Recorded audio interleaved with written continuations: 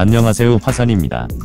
아침 저녁으로 쌀쌀한 날씨가 계속되는 요즘에 오늘따라 유난히도 춥게 느껴집니다. 이런 시기에는 겨울철 보양식이라 불리우는 시래기 된장국을 아침 저녁으로 만들어서 먹으면 생활하는데 큰 활력소가 됩니다. 시래기는 무청을 그늘에서 말린 것을 무청시래기라고 하고 요즘이 한창 제철이기도 합니다. 예선조들의 지혜가 담긴 겨울철 대표적인 건강식으로 무청이 시래기로 변하는 시간은 약 30에서 50일 정도입니다. 그래서 많은 기다림이 필요하고 이때 각종 영양소도 크게 증가하면서 항산화 성분이 10배 이상으로 늘어나게 됩니다. 그리고 시래기에 된장과 함께 곁들여서 먹으면 항산화력은 30배가 넘게 증가한다고 합니다. 실제 이것은 실험과 여러 방송 매체를 통해서 항산화력이 크게 증가한다고 입증이 되기도 했으며 이두 재료를 꼭 함께 드셔야 하는 것이 제일 중요한 이유입니다. 다른 논문 자료에서도 시래기를 데치는 과정에서 된장에 항산화 물질이 더해지면 항산화력이 최대 36에서 40배까지 증가한 것으로 나타나기도 했습니다. 여기에는 각종 비타민과 식이섬유 플라보노이드, 폴리페놀 등의 인체 생리 활성에 꼭 필요한 항산화 성분들이 포함되어 있습니다.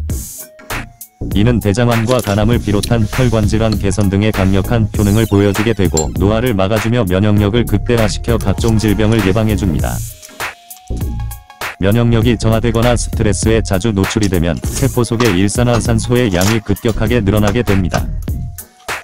그러므로 이들이 결합하게 되면 인체가 손상을 입게 되고 염증 반응을 일으키게 돼서 암세포의 성장을 촉진하게 됩니다.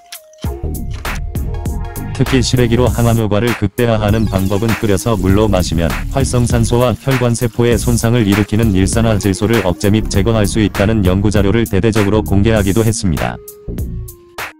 시래기차를 만들 경우에는 우엉과 당근, 표고버섯, 무와 감초에 물 3리터 정도를 붓고 달여서 식수처럼 먹으면 됩니다.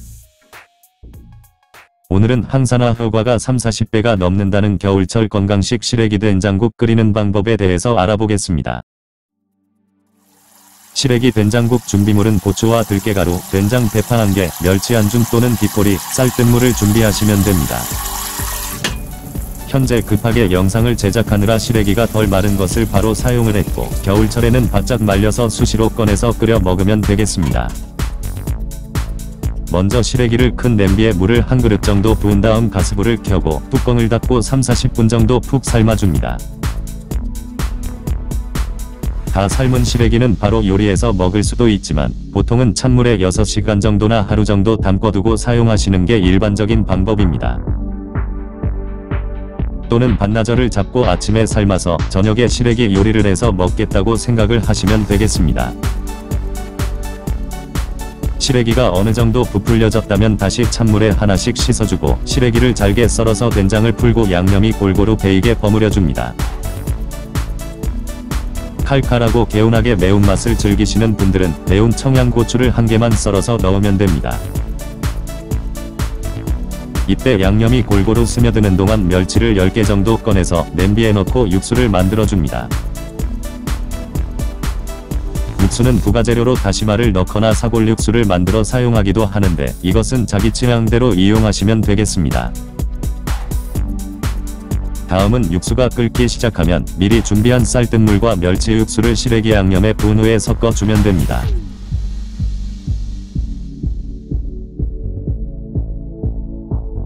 어느덧 시간이 지나고 구수한 된장 냄새가 솔솔하게 올라오게 되면 그때 구수하고 깊은 맛을 내게 하는 들깨가루 두세 스푼을 넣고 풀어줍니다.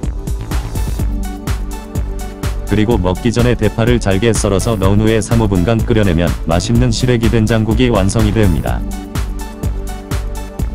참고로 반호된 된장 속에는 짠맛과 단맛이 다 들어있기 때문에 설탕이나 소금은 전혀 안 넣으셔도 됩니다. 다만 식성이 짜게 먹는 분들은 싱겁다고 느껴지면 소금을 살짝 넣어주면 되고 암 환자와 고혈압 환자들은 건강을 위해서 싱겁게 먹는 것이 좋습니다. 된장국은 오래 끓일수록 깊고 진한 국물 맛을 맛볼 수가 있고 일주일에 두세 번씩 또는 매일 드시면 겨울철 건강을 유지하는데 최고의 식품이 되니 자주 드시길 바랍니다.